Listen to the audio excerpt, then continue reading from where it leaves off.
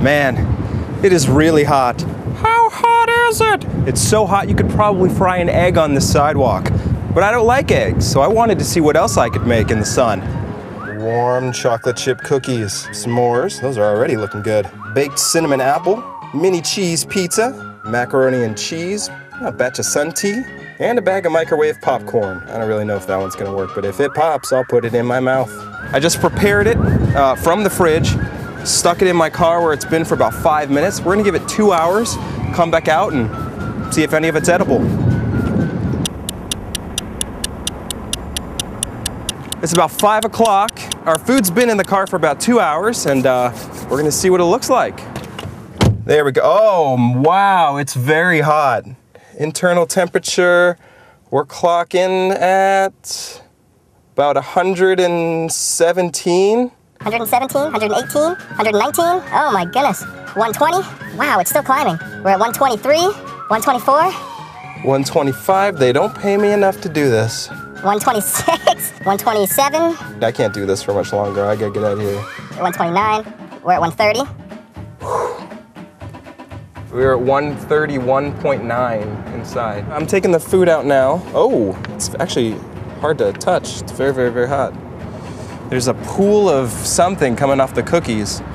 And the popcorn is a no-go. None of the kernels popped. It was worth a try. We've got the iced tea. It's really good iced tea. A plus plus plus would brew again. Let's try the mac and cheese. Looks like the noodles might be warm. The water's just kind of brown and has little flecks in it. Here's the and cheese. This looks horrible. I said I would try everything, so. That's the worst thing I've ever put in my mouth. The texture is just horrid. Don't do that one. Don't do it. Let's try some more. Look at that. Oh, that's awesome. I'm gonna eat this whole thing right now. So far, this is the best thing I've ever cooked in my car on purpose. The graham cracker's still crispy. The marshmallows melted. Mmm. Mmm. Some more. Do it. Let's try a cookie. You can see it hasn't baked all the way. Tastes like warm cookie dough. I don't recommend the cookie. Cheese pizza. I love pizza. That's really not bad.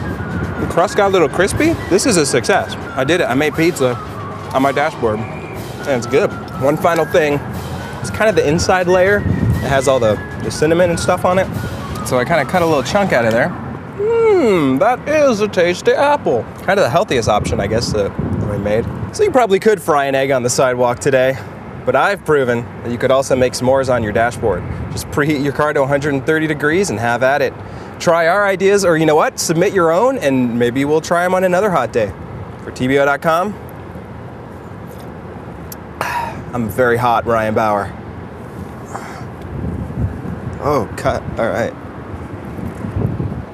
Mm. Does that work? That one look all right? So you want some iced tea?